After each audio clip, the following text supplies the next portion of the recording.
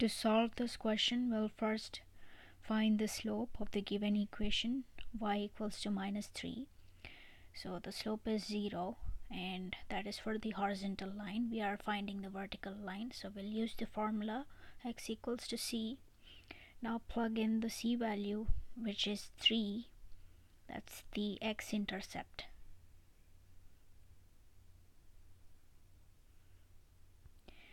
So this is the equation of the line that is perpendicular to the equation y equals to minus 3 and the graph looks like that.